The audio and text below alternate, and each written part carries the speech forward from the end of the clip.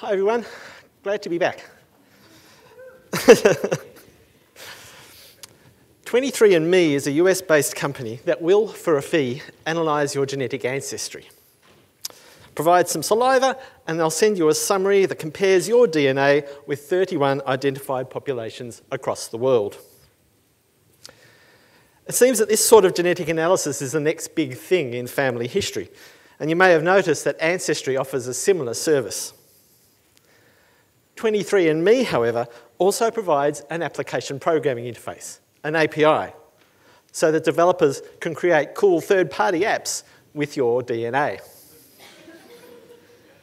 Don't worry, you do actually have to provide permission. So, you know, Facebook won't automatically start sending you friend requests based on your genes, um, at least not yet. But it didn't take long for the ethical boundaries of this sort of service to be tested. One developer created a genetic access control authentication system. Using it, online sites or services could restrict access to people who had a specific genetic makeup. this was an actual example from the, the, the guy who developed it. The developer's API access was quickly revoked, with 23andMe noting that their terms of use prohibit applications that contain, display, or promote hate. Four years ago, I stood on this stage describing a project that I was working on with Kate Bagnall called Invisible Australians. We were and are trying to encourage use of the National Archives of Australia's collection of records that document the workings of the White Australia policy in quite confronting detail. As an experiment, I downloaded thousands of images from the archive's collection database. Most were certificates used in the control of non white immigration, visually compelling documents that include both portrait photographs and handprints. I ran a facial detection script over these images to extract the portraits and created an online resource called The Real Face of White Australia. For a weekend project, it's had a significant impact in the digital humanities world. Some people criticised us though because they thought we were actually selecting records based on race. I mean, this was just a misunderstanding of both the records and the technology that we were using. I mean, even if I'd wanted to, I wouldn't have had a clue back then about how I would categorise these portraits by race. Now I do. I can sign up for an account with a service like Face and use their API to analyse an image of a person's face to determine both race and gender.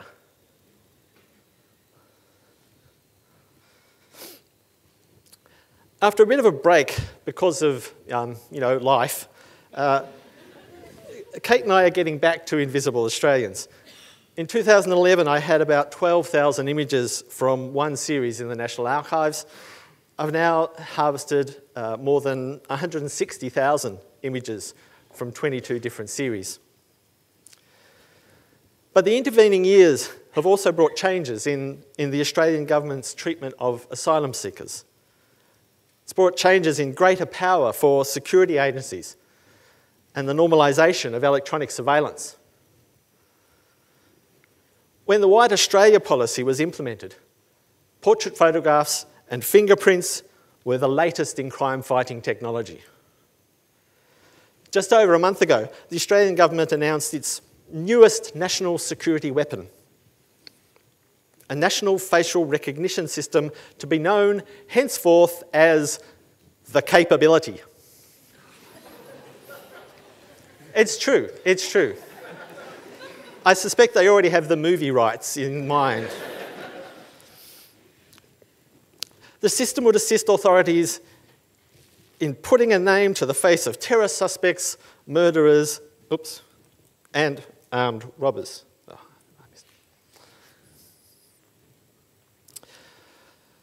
now, tools that help identify faces can offer powerful new means of discovery and analysis within the holdings of our cultural collections. But can those of us who work with these tools avoid engaging with broader systems of surveillance categorization, and control. For Kate and me, the parallels are just too strong. History is not just about the past. Um, I'm talking today about two related technologies facial detection and facial recognition. Facial detection simply, simply tells you if there's a face in an image. It's the technology that draws the little boxes around faces when you're taking photos, and it's pretty efficient and well established. And this was the technology that I used to create our wall of faces.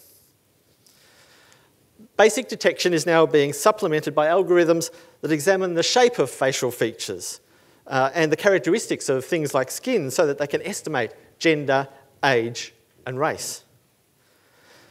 They can also tell you whether the person is wearing glasses and the quality of their smile. There's a winner, there's a loser.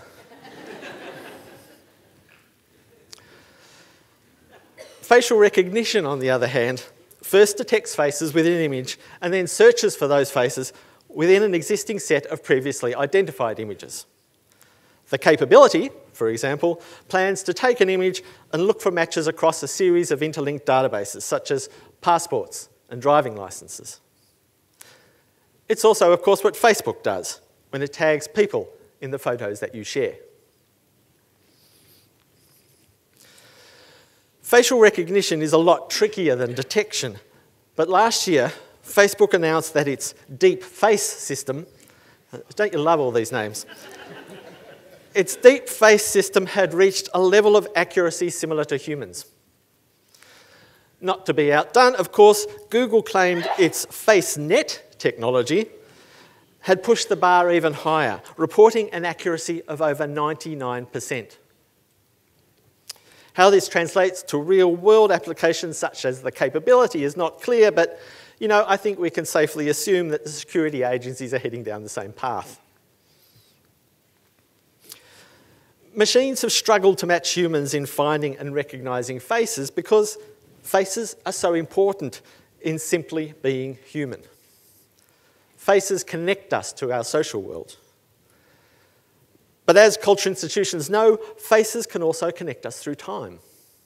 Looking into the eyes of a person, no matter how far removed through time, history, or culture, affects us. We do not merely see, we feel.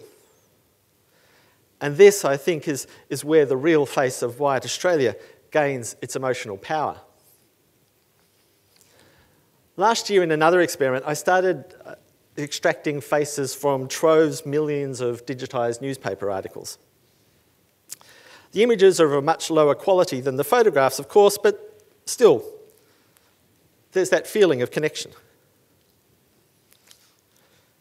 Facial detection is one example of a broader class of computer vision operations known as feature detection.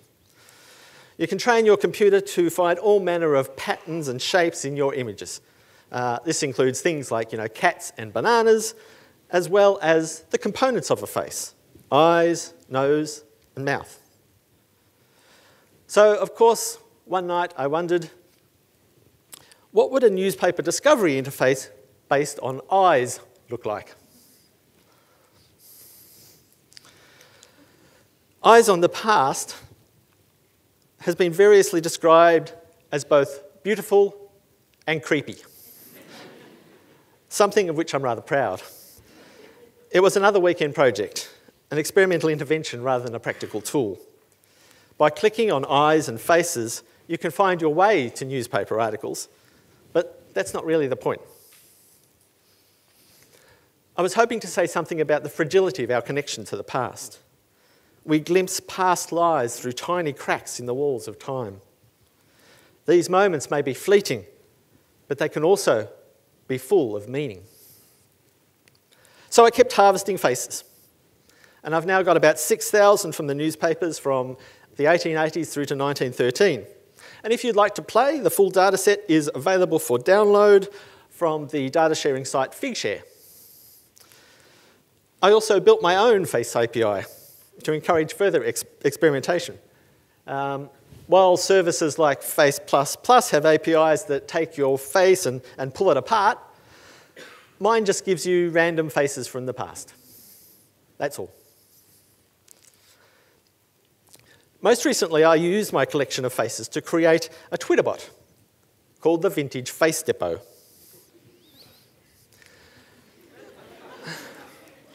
Tweet a picture of yourself to the bot, and it will send you back a new version of yourself, in which your face is overlaid with a random visage from my extensive range of vintage faces.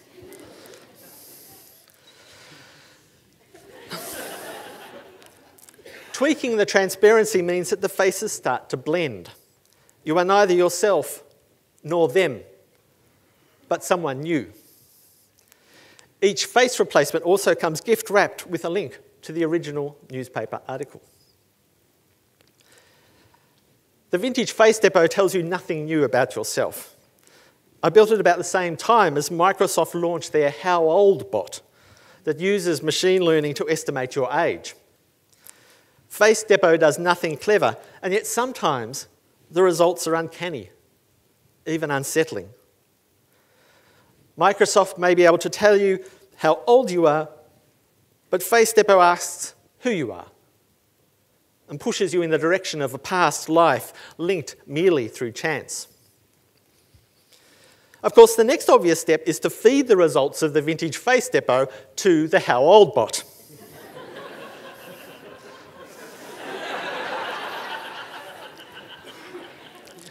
or indeed to Face API. In a similar vein, the developer Kirk Kaiser has been pitting neural network against neural network, altering images of himself use, using Google's Deep Dream and uploading them to Facebook for Deepface to analyse and tag. Digital artists like Adam Harvey have reverse engineered facial detection algorithms to devise anti surveillance fashion styles. He shows how you can use makeup to disrupt key regions of your face, such as where your nose and eyes intersect, and effectively render your face invisible. From face to anti face. While none of these interventions provide a detailed critique of state surveillance, they do highlight the constructed nature of these technologies. By playing around with their parameters, we understand better how they work. And that last sentence was modified to be more family friendly. But what's the role of cultural heritage organisations in all of this? Libraries are already leading the way in supporting online privacy. But leaving aside the whole living in a surveillance state thing for a moment, these technologies, these technologies don't just find faces, they reduce us to a set of external characteristics. We become what they can measure.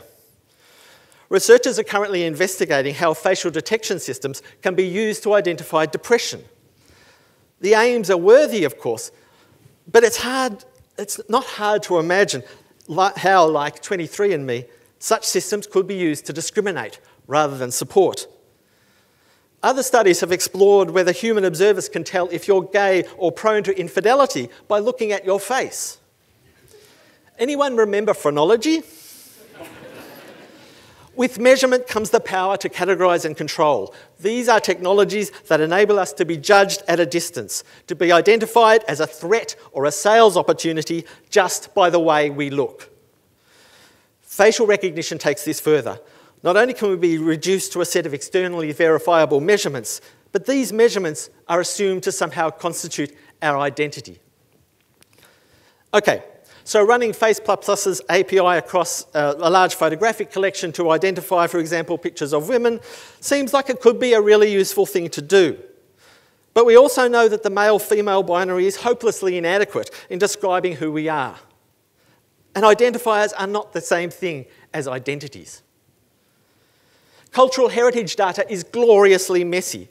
Even as we try and wrangle it to fit our systems, we recognize the resistance as something profoundly human against the power of surveillance, both for security and for sales, we have the opportunity, the obligation to celebrate this complexity, to deny the meaning of measurement. You cannot know me from my face. My identity cannot be captured in your database. Let's use facial detection to enrich our metadata, but let's also work with artists, developers, and activists to challenge the technology's embedded assumptions about the perfect face. Four years ago, I showed you our wall of faces. A few weeks ago, I took those 7,000 photos and ran them through a program that averages facial features. I expected to be critical. I expected to be annoyed. But instead of seeing some algorithmically generated nonsense, I just saw a person. And there's power in that. Thanks.